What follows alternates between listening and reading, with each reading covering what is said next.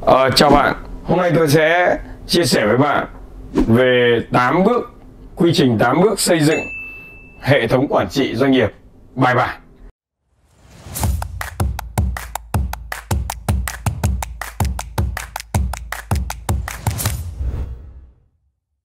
Ok, uh, bước số 2 Bước số 2 là tôi đã uh, mô tả cái chức năng và nhiệm vụ của các phòng ban của các bộ phận trong công ty cũng như mô tả cái công việc của từng vị trí một. Ông CEO có vị trí gì? À, có cái, cái công việc gì phải làm? Hay là ông trưởng phòng kinh doanh ông trưởng phòng hành chính nhân sự hay là trưởng bộ phận sản xuất? Tất cả các vị trí đó đều phải có một cái bản mô tả công việc rất rõ ràng. Và bản mô tả công việc này nó cần phải bảo đảm làm sao nó phải rõ xem là các cái checklist, nó giống như một cái checklist ấy. Nó gồm có những cái công việc gì người ta phải làm, đúng không? Và các cái quy trình nào có liên quan tới họ. Và ờ, cái kết quả đầu ra của họ là kỳ vọng là như thế nào, đúng không? Họ phải giải quyết vấn đề gì? Và hàng tháng, hàng tuần, hàng ngày họ phải giải quyết vấn đề gì? Thế và từ đấy rồi thì cái người mà Ờ, nhận cái bản mô tả công việc này thì sẽ biết rất rõ. Đa số các cái doanh nghiệp không có hiệu quả là bởi vì là các nhân viên khi mà vào, họ cũng không biết họ lung túng, họ không biết làm cái việc gì, và cấp trên thì lại không có giao việc cụ thể. Thế mỗi một lần, mỗi một khi mà cần phải đến, cần phải là họ xem là làm cái gì thì bên nhân viên này phải hỏi xem là hôm nay em làm gì, đúng không? ngày mai em làm gì thì như vậy ấy, là nhân viên sẽ rất là thụ động và rất là bị động. Và nhiều lúc người ta cũng ngại không dám hỏi. Và dần dần nhân viên có thể là gì ạ? Sinh ra chán. Hoặc là nếu mà họ lười ấy, thì họ lại rất là thích cái việc như vậy. Hoặc là trường hợp là bạn không có bản mô tả công việc ấy nó sẽ dẫn đến tình trạng là người này sẽ đổ lỗi cho người kia. Tưởng là cái việc này của người khác chứ không phải là của mình. Thì như vậy là các doanh nghiệp vừa nhỏ là gặp phải những vấn đề là thiếu quả là bởi vì cái việc này. Thế vậy nên là uh, khi mà uh, anh em chúng tôi sau một thời gian thì chúng tôi đã phải uh, mô tả tất cả những các cái chức năng các cái nhiệm vụ cụ thể cho từng các phòng ban rồi cho từng các cái vị trí một kể cả từ công nhân này cho đến nhân viên này cho đến là uh, tổ trưởng hay là các cái cán bộ kỹ thuật rồi đến tất cả các vị trí trong công ty bạn đều cần phải có một cái bản mô tả công việc.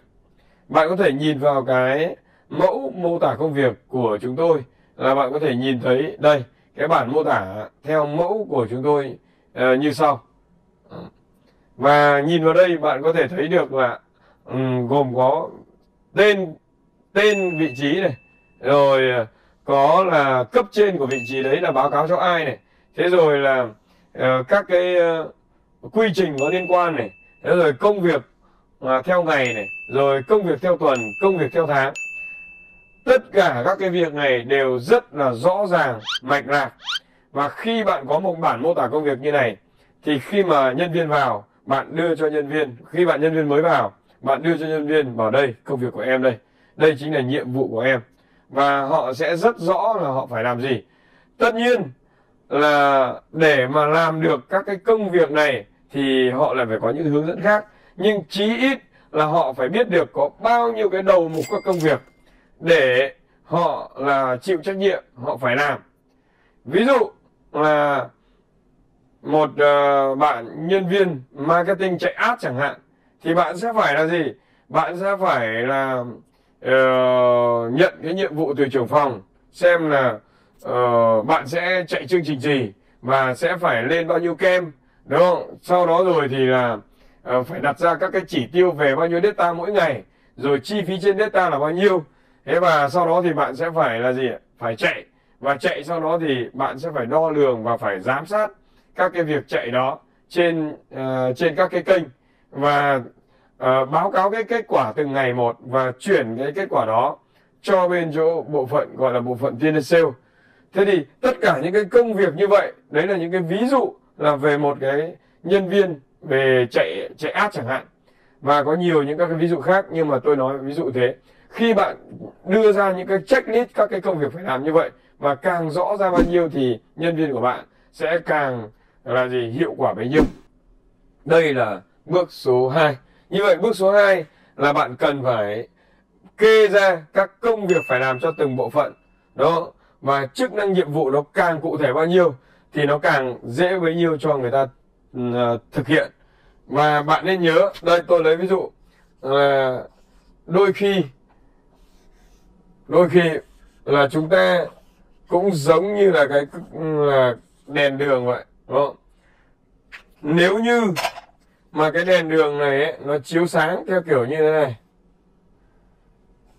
Đó, chiếu sáng theo kiểu như này. Thế thì có những các cái không không gian. Nếu chúng ta không tính kỹ thì ở chỗ này nó sẽ nếu không đủ là mất là nó không có những cái ánh sáng đủ sáng ở đây. Nó, nó gọi là vùng tối. Đó, vùng tối. Và cần phải phân định rõ ra để làm thế nào đấy để chúng ta có được những cái ánh sáng vào đây. Thì để không có những cái chỗ cái vùng gọi là vùng tối. Vậy ví dụ đây là một nhân sự đây là một nhân sự nhiều lúc có những cái sự giao thoa giữa hai hai người với nhau và chúng ta cần phải phân định rõ xem cái này thuộc về ai để tránh cái tình trạng là bên chỗ các nhân sự sẽ đổ lỗi đổ lỗi cho nhau. Và cái đấy là không tốt và tạo ra cái mâu thuẫn trong doanh nghiệp. Ở cái bước số 2 này khi mà tôi uh, uh, viết uh, về chức năng và nhiệm vụ cũng như mô tả công việc thì lúc đó tôi đã phải là đi tham khảo trên mạng này tham khảo một số các cái công ty mà nó có cùng cái chuyên ngành với chúng tôi. Đó. và tôi cũng hỏi một số những người bạn đang làm việc cho một số các công ty quốc tế để tôi xin được cái mẫu. Và tôi phải mất đến hàng năm trời đó, cùng với anh em trong team đội để xây dựng được một cái hệ thống gọi là chức năng nhiệm vụ và mô tả công việc. Tất nhiên là mới đầu làm ấy, thì ờ, có thể nó chưa được ờ, hoàn mỹ nhưng mà mình cứ phải hoàn thành trước hoàn thiện sau. Bạn cứ hoàn thành đi bạn cứ viết ra đi.